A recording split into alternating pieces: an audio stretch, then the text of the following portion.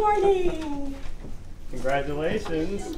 The school district of Lee County would like to congratulate Migdalia Cruz, the 2016 Support Person of the Year. Oh, this was the perfect spot with my kids. Oh, yeah. When I seen her with the balloons, it was like, oh no, and everybody just came in after. I like stopped breathing for a minute there.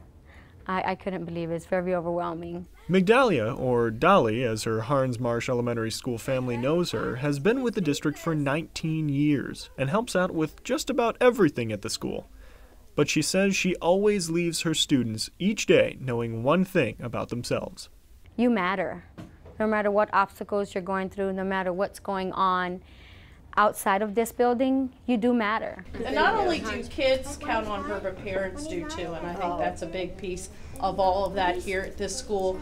But the impact Dolly has on the students at Harns Marsh is best said by one of her own.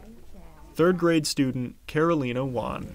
What I love the most about her, Miss Cruz, is that she makes everyone smile like sunshine. And if she wouldn't be here, everything would be sad, but God let her here, led her here, and made everyone happy.